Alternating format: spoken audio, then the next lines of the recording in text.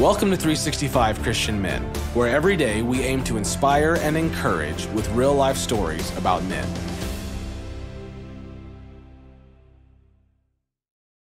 July 13th. Stanley Dale. Stanley Dale was an Australian who first visited New Guinea while serving in the Army during World War II. When he first saw the high mountain ranges of the interior, he set his mind to return and bring the message of God's love to the Yali people who lived in those remote areas. When Stanley first approached the Yali, they shot him, but he didn't die. Another time, they shot arrows at him. He pulled the arrows out of his body and broke them over his knee. Dale knew that if God had sent him someplace, God would take care of the details. On this date in 1960, Dale set out for his third attempt at missionary work in New Guinea and Indonesia. God guides the bold man willing to take action. It took a long time for any outsider to find the Yali people. Hidden deep among the ridges and valleys of unexplored New Guinea, these hostile tribes lived in Stone Age conditions and worshipped the mystical spirits of Kembu.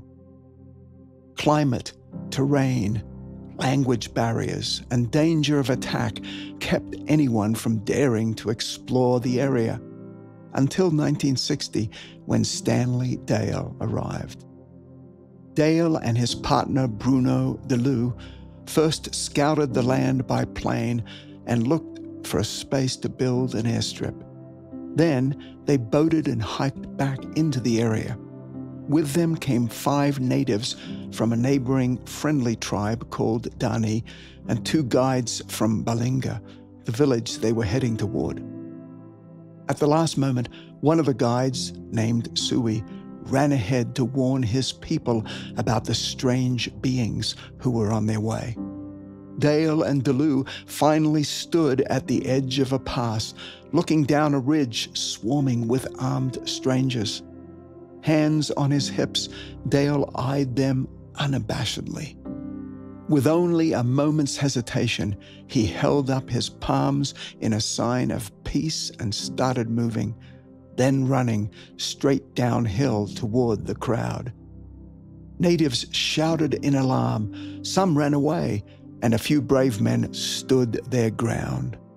Sui, the messenger guide, did his best to explain to his kinsmen that these men were not dangerous and Dale was able to interact with the men and establish a sort of relationship. Next, Dale pressed on to investigate the potential airstrip site he had spotted earlier from the plane. He descended into the valley and headed straight for the enemy of the Balinga warriors, the Yabi and Kobak tribes. The Balinga warriors behind him screamed battle cries and followed with weapons raised but Dale kept going.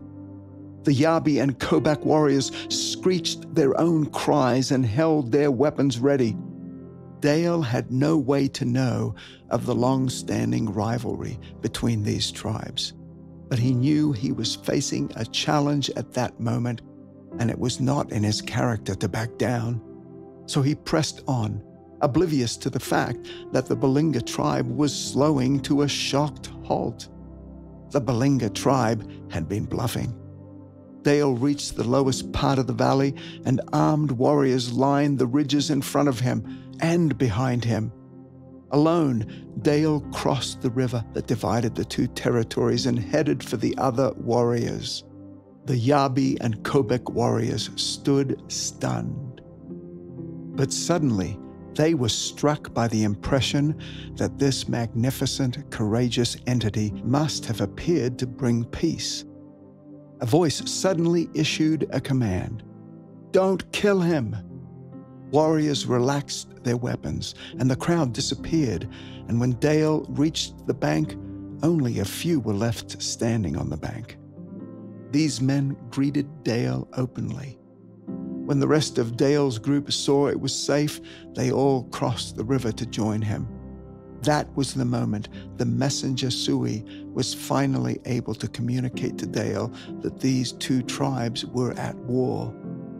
With authority that only God could enforce, Dale ordered Sui to tell the Balinga and Yabi war chiefs that it was time to make peace. Sui hesitated, but Dale gripped his shoulders and sent him on his way. Sui rallied the leaders from his village and the enemies. With de Leeuw praying behind him, Dale used his interpreters to talk with the war chiefs. Finally, the people who had just been ready to let their arrows fly at one another grasped arms in forgiveness. Hebrews 13, verse 6 says, So we say with confidence, The Lord is my helper. I will not be afraid. What can mere mortals do to me?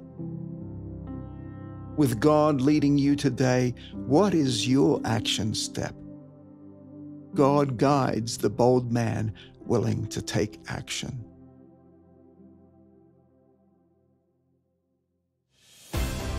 Thank you for listening to today's story. Every day of the year, our hope is to inspire you with real life stories of faithful men who have gone before us. Hebrews 12:1 says, Therefore, since we are surrounded by so great a cloud of witnesses, let us lay aside every weight and the sin that so easily ensnares us. Let us run with endurance the race that is set before us, looking to Jesus, the author and finisher of our faith. Join us tomorrow for another story at 365christianmen.com.